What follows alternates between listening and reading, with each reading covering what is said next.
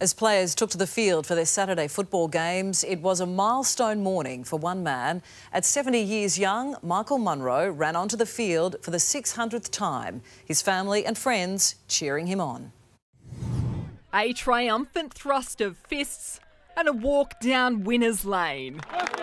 Victory tasted sweet for Michael Monkey Munro today, his 600th game for the Mosman Whales.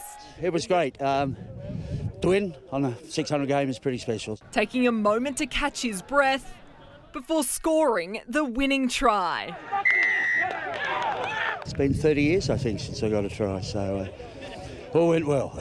the kids and the grandkids rugged up on the sidelines, cheering their monkey on. He's played 600th game yeah. and playing for Mosman and he scored the winning try for the game. He just loves the game, so watching him go out there and play with such passion is always awesome to watch. We are the boys in blue and blue. He's been a boy of blue and blue since 1971. Close to five decades of club rugby, representing his team in the suburban competition.